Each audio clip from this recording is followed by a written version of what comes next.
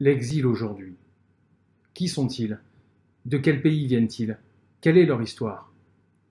Qui, parmi nos foules d'Occident, coin d'une rue, dans un hall de gare ou d'aéroport, ou surprenant par hasard un visage derrière une fenêtre à l'étage d'un hôtel de quartier, croisant un jour l'une de ces silhouettes anonymes, manifestement en transit, ne s'est jamais posé ces questions.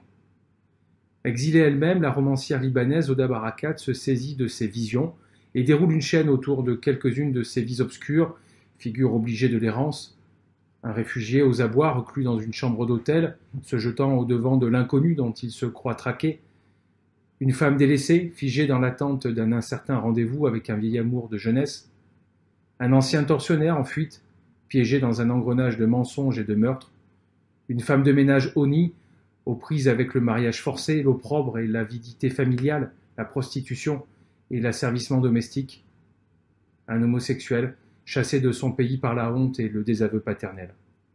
Ni retour, ni retrouvailles possibles pour ce cortège de spectres mus par la peur, la solitude, le remords, le désespoir. En bout de course, acculé à la dernière extrémité, chacune de ces ombres jette à la hâte sur le papier, avant de s'évanouir, les bribes de ce passé qui l'a conduit là, mot en désordre adressé qui a une maîtresse maltraitée, qui a son amant improbable, qui a une mère, un frère, un père. Autant de lettres inachevées, abandonnées derrière soi, à jamais perdues pour leur destinataire qui forment le fil d'une ronde magistrale.